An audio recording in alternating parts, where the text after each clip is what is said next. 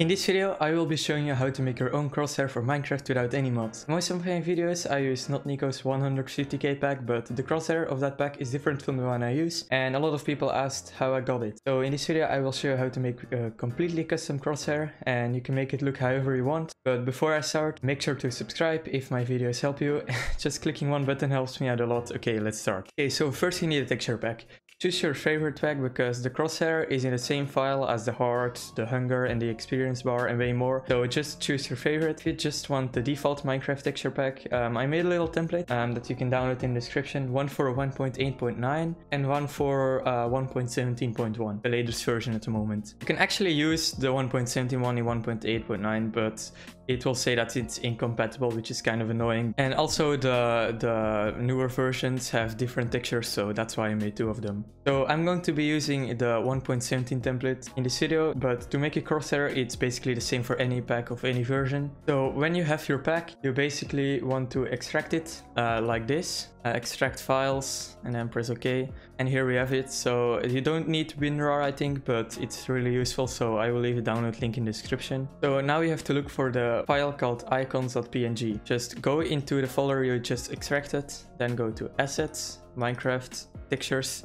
GUI, and here we have it. So you might be a little confused because for me there was always only one option and that's because it's a template. For like a normal pack, here's just a pack that I had and I already extracted it. Just do the same thing, go to assets, Minecraft. Now there are more options. Just do the same thing as I just did. Textures, GUI, and there is the icons.png. If it doesn't show the .png, um, don't worry about it, it's not important. So when you have found the icons file, you need a program called paint.net. It's free and I will leave a download link in the description. It's really easy to download, so I'm not going to go over that. But basically when you open it, it will look like this and you have to change a couple things first. So I think this is not checked when you open it for the first time. Um, and basically what it's going to do, it's going to show like a grid and it's going to be really useful. Want to change this to 1, this to 100%, click this and click that, and then you're done. So now you want to go to the icons file and drag it in, open, and now um, in the top left, you will be able to see the crosshair. So this is the default Minecraft crosshair. Um, if you're using a texture pack, it will show the crosshair of that pack. And basically what you want to do now is the color picker, um, get the color here. So now you can make any crosshair you want. I'm going to make one um, really quickly. And um, also if you want to remove any pixels, you just use the eraser tool and click on the one that you want to get removed. Okay, so this is my crosshair. Um, yeah, it's a really bad one, but I don't really care. So press Ctrl and S to save and then press OK. Um, and now you made your crosshair. Um, so I'm going to show you how to put this in Minecraft later, but this is for a 16x spec. So if you want a higher resolution, I'll show you how to do that too. And basically with a higher resolution, you can work with more detail and stuff. Uh, first, um, yeah, this is 16x spec. So to go to your 32x spec, just go to image, resize, and then you want to make sure the resampling is on nearest neighbor. Um, so just select that. And basically as you can see um, this is 16 spec but it says 256 here. That's just because it's a lot of different textures um, in the same place. Yeah to go to 32x from 16x you basically have to do times 2 so we're going to do the same here. 256 times 2 is 512 so just do that press OK.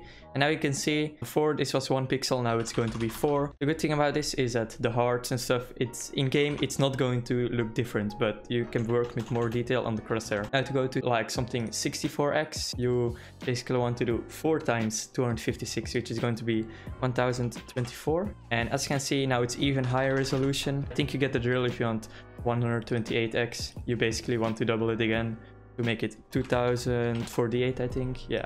And now you can work with even more detail. So um, when you have saved this you can close paint.net and then you want to press Windows plus R. And for me it's already filled in but you want to type percent appdata percent press OK and go to your .minecraft folder scroll down until you find resource packs. And in here these are all your, your um, resource packs. I have a lot of them. And basically I just changed the crosshair of my crosshair 1.17 template. Just choose the pack that you just um, extracted and where you change the crosshair in and just drag it in. As you can see, a normal pack is in a zip folder, but it will work like this in a normal folder. But if you want to share it with friends, you want to make this a zip folder. And to do that, you basically go in this folder, select everything in here. It will be two or three things.